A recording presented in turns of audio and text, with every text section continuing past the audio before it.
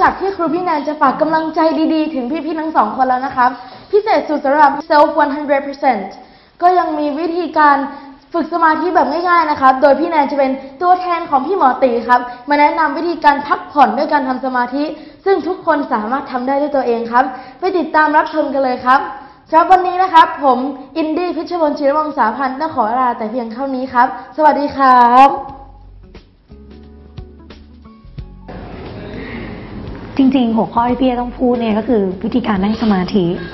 แต่ก่อนอื่นเนี่ย น้องสงสัยบอกว่า อันดับแรกเนี่ยเราทำไปทำไม อันดับที่สองเนี่ย เราไม่ใช่พุทธนี่นา เราต้องมานั่งสมาธิด้วยเหรอ อืม เป็นคำถามที่ดีมาก ถึงแม้ว่าพี่แนนจะเป็นพุทธเนี่ยนะคะ แต่ว่าพี่แนนเนี่ยคิดว่าทุกศาสนาเนี่ย สอนให้เราเป็นคนดีหมด ไม่จำเป็นเลยค่ะลูกที่หนูจะต้องเป็นพุทธแล้วมานั่งสมาธิไม่ได้ เพราะจริงๆแล้วเนี่ย รูปแบบของสมาธิเนี่ยคือการให้จิตจดจ่ออยู่กับอย่างใดอย่างหนึ่ง เป็นอารมณ์ และจึงเกิดความสงบฮันเนี่ยจริงๆแล้วไม่ว่าจะเป็นอิสลามหรือคริสเนี่ยก็มีการสวดมนต์ใช่ไหมการสวดมนต์ก็เป็นฟอร์มหนึ่งหรือรูปแบบหนึ่งของการทำสมาธิเหมือนกัน และจริงๆเนี่ยสมาธิเนี่ยเป็นของกลาง ไม่ใช่ของศาสนาพุทธอย่างเดียวค่ะ อันนี้คือตอบคำถามในเรื่องของศาสนาใช่ไหมคะลูก อีกอันนึงเนี่ยที่สำคัญไปกว่านนั้นก็คือว่า แล้วเราทำไปทำไมล่ะ ก่อนอื่นเลยเนี่ย เคยสังเกตไหมว่า สิ่งที่คนเราไขว่คว้าเนี่ย เราเนี่ยทำไปเพื่ออะไร พี่แนนเห็นหนูเนี่ยตั้งใจเรียนกันมากๆตั้งเต็มตัวสอบกันมากๆค่ะลูกตั้งใจที่จะหางานดีๆทำมีเงินเดือนสูงๆ ทุกคนอยากจะหาความสำเร็จในชีวิต จริงไหมเพื่อที่วันหนึ่งจะมาเลี้ยงพ่อเลี้ยงแม่ได้ เออ แต่สิ่งนึงเนี่ย ที่ลืมไปเนี่ยคือว่า ความสำเร็จนั้นจะไม่มีคุณค่าเลย ถ้าเราไม่มีความสุข ความสุขเนี่ย ส่วนใหญ่เราทำเกิดจากอะไร เราได้เราได้ความสุขมาได้ยังไง เขาบอกว่าบางคนบอกว่า หนูมีแฟนค่ะพี่ หนูมีเพื่อน หนูว่าหนูไปดูหนัง ฟังเพลง ไปทานข้าวอะไรอร่อยๆเงี้ยก็เป็นมีความสุขไปเที่ยวอย่างเงี้ย ได้ทำในสิ่งที่ตัวเองชอบเป็นความสุข ถามว่าเพื่อนเนี่ยทะเลาะกับเขาหน่อยหนึ่งแล้วก็ทุกข์ละ แฟนก็เหมือนกัน หนังพอหนังจบเราก็กลับมาทุกข์เหมือนเดิมได้ เพลงก็เหมือนกัน ถ้าไปฟังเพลงนี้ไปนานๆบ่อยๆทุกวันน่ะมันก็เบื่อจริงไหมก็เกิดเป็นความทุกข์แล้วเหมือนกัน ความสุขที่แท้จริงเนี่ยมันอยู่ตรงไหน จริง ๆ อย่างอื่นเนี่ยเป็นแค่การเปลี่ยนอารมณ์เฉยๆแล้วเกิดความสุข ความสุขแบบนั้นเป็นความสุขที่ไม่ยั่งยืน เหมือนกับว่าเราใช้วิธีการเปลี่ยนอารมณ์ เปลี่ยนอารมณ์ พอทุกข์แล้วก็ไปหาอะไรที่มันแปลกไป หลังจากนั้นเนี่ยก็กลับมาทุกข์เหมือนเดิม จริง ๆ แล้วเนี่ย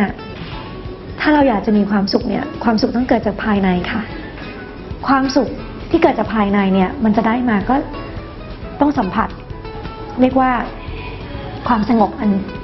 เป็นความสุขที่ประณีตพี่นายอยากจะบอกนี้นะคะลูก ถ้าหนูไม่เคยได้สัมผัสเนี่ยหนูไม่รู้หรอกว่า มันมีสิ่งอื่นที่มันดีไปกว่าความสุขแบบนั้นน่ะ ที่เกิดจากการเล่นเกม ได้ของที่ถูกใจ แต่มันเป็นความสุขที่ประณีต อันนี้ต้องลองสัมผัสดู พี่แนนกับทีมงานเนี่ย ตั้งใจมาก ๆ ที่จะ develop Zen Timer ขึ้นมา เพื่ออยากให้น้องเนี่ย ได้สัมผัสความสุขที่เกิดจากการใช้สมองซีกที่หนูละเลยไปคือซีกขวาค่ะ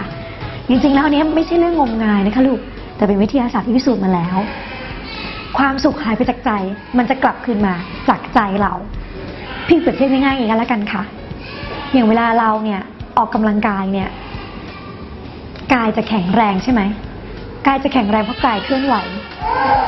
เคลื่อนไหวเยอะๆเนี่ย เท่าไหร่ มันยิ่งแข็งแกร่ง แต่จิตของเราเนี่ย วันวันๆหนึ่งเนี่ย เราเคยสงบได้บ้างไหม ยากลูกแทบไม่มีเลย คิดดูนะ บางคนเนี่ย นอนหลับแล้วเนี่ยเคยเป็นไหมคะลูก หลับไปแล้วเนี่ย มันยังเหมือนกับตื่นขึ้นมาแล้วมันมันไม่หายเหนื่อยอะ่ะ เพราะว่าอะไร เพราะว่าจิตเราความคิด เราสมองเราทำงานตลอดเวลาจิตสมองความคิดทำงานร่วมกัน บางคนก็ฝันเละเทะ บางคนเนี่ยก็เหมือนกับความคิดมันยิบยิบยิบยิบยิบยิบยิบเดินอยู่ตลอดเวลา จะให้ดีเนี่ยมันต้องพักผ่อนทั้งสองอย่าง คือกายแล้วก็จิตค่ะฉะนั้นถ้าเราได้พักจิตเนี่ยจิตตรงข้ามกับกายคือ ถ้าจิตอยู่ในอารมณ์เดียว เท่าไหร่ จิตจะมีกำลัง พอจิตมีกำลังแล้วเนี่ย นอกจากเรื่องของการพักผ่อน น้องจะพบเลยว่าน้องจะมีพลังในการทำทุกสิ่งทุกอย่างในชีวิต โดยเฉพาะยิ่งการเรียนเนี่ยจะเห็นผลอย่างเรียกว่าดีขึ้นอย่างแบบหน้ามือเป็นหลังมือเลยค่ะ ไม่เชื่อถามรุ่นพี่ที่เคยทำสมาธิ แล้วก็พักผ่อนในสมองซีกขวากับพี่ดูได้ค่ะลูกอยากจะบอกน้องๆนะคะว่า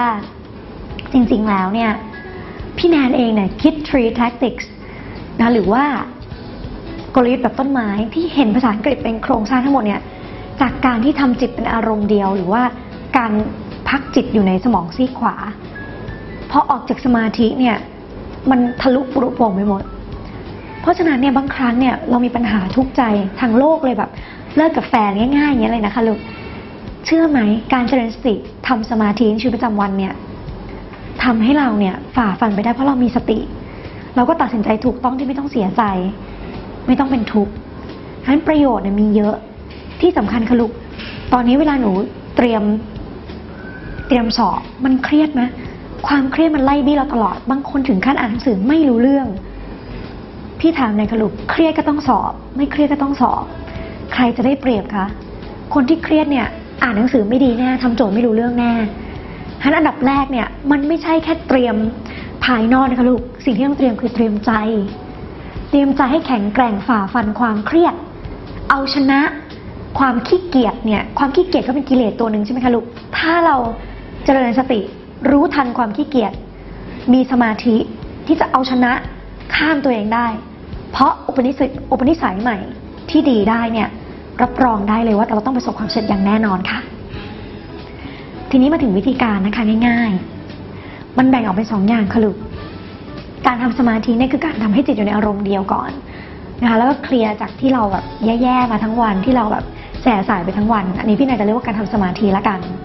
นะซึ่งพี่นายก็จะมีให้ฝึกในห้องด้วย ถึงแม้น้องที่เรียน SELF ร้อยเปอร์เซ็นต์หรือ SELF at Home เนี่ยก็สามารถทำได้เมื่อเวลาที่ถึงเวลาพักหรือ rest note นะคะลูก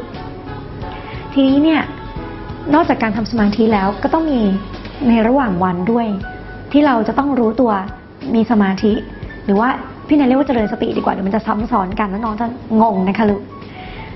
นะเพราะฉะนั้นเอาเรื่องการทำสมาธิก่อน ง่ายๆก็คือว่า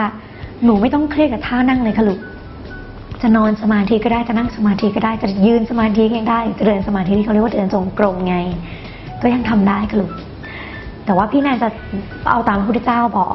ท่านก็บอกว่าตั้งกายตรงดำรงจิตมั่น